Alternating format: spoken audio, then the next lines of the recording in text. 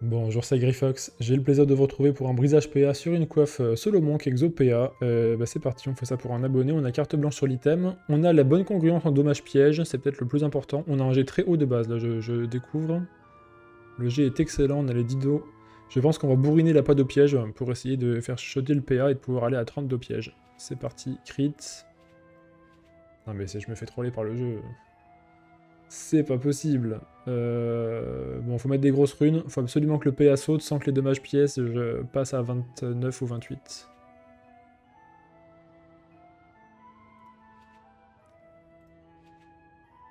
Ok, dommage.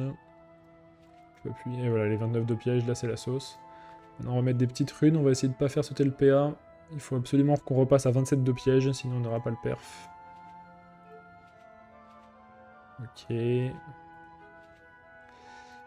On a la rune d'eau qui saute. On a un poil de puits. La puissance peut me faire un moins de dos. Hein. C'est ça qu'on va espérer. Ok, il me faut encore moins un dommage.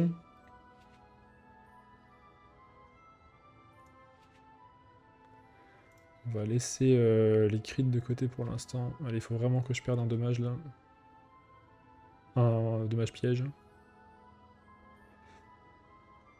On peut mettre ça comme ça éventuellement. La vie. Ok, nickel, allez. La pas d'eau, il faut que ça casse le PA, et là on a un full perf. Ok, bon, on a, ça passe pas malheureusement, mais en termes de congruence, on est bien. On a 5, on a plus 2. On a 87. Donc on va viser évidemment le full perf. On a les 9 dommages, c'est cool. Ça va être pas vie. Ravi. Ça passe, ok, tant mieux. Allez, avec un tout petit peu de réussite, on fait un full perf là.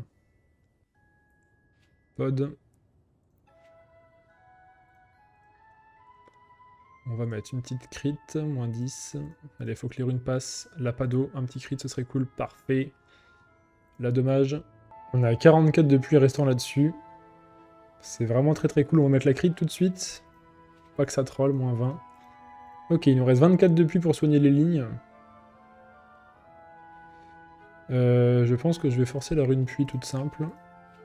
Moins 6.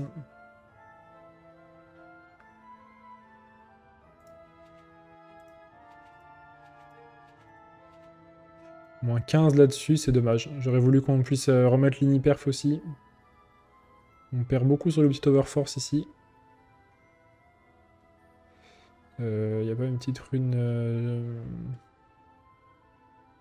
Une rune innée, ce serait bien.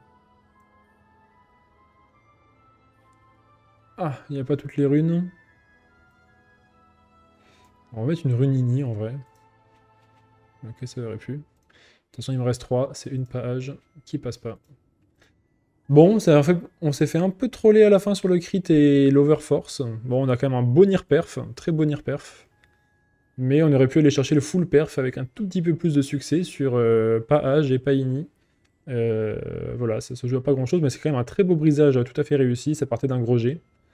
Donc euh, voilà, c'est quand même sympa. Dommage qu'on n'ait pas le perf stat, hein. ça fait quand même plaisir d'avoir du perf stat euh, sur un item comme ça, qu'on joue en général pour les dégâts. Et écoutez, c'est la fin de ce brisage, j'espère qu'il vous a plu. Si c'est le cas, je vous invite à liker, partager, vous abonner, commenter. J'essaie de lire tous vos commentaires et j'y réponds souvent. Sachez que vous pouvez suivre mes aventures sur Twitch et sur Twitter, et que si vous voulez me soutenir, j'ai un Tipeee, vous avez tous les liens en description.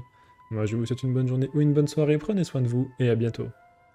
Passage d'une rune de transcendance dommage au sort sur un Styxano avec un G qui n'est pas perf mais qui est quand même un G plutôt correct pour un item sans pluie euh, que j'ai acheté vraiment pas très cher en HDV.